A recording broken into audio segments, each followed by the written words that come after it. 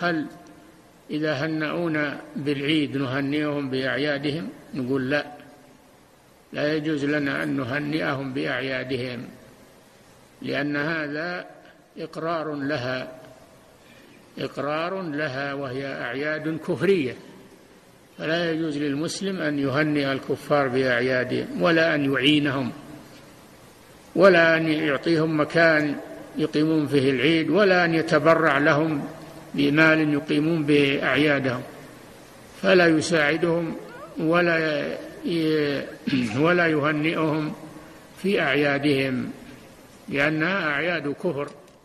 نعم.